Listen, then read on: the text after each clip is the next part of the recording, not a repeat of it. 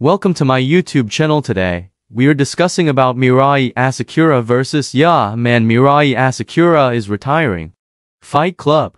Yum in this video is too much trending on social media. If you are interested in this video please like and subscribe to my YouTube channel again I am try to telling you that Mirai Asakura versus Ya Man Mirai Asakura is retiring.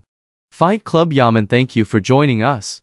If you want more videos then please subscribe to us thanks for watching.